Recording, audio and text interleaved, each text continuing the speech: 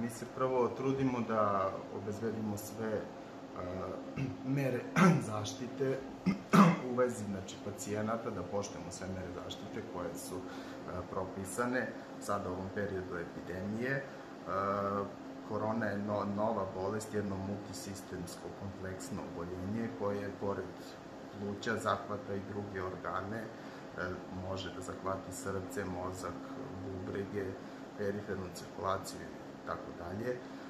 Kao novo, odeljenje, novo oboljenje nama pristižu stalno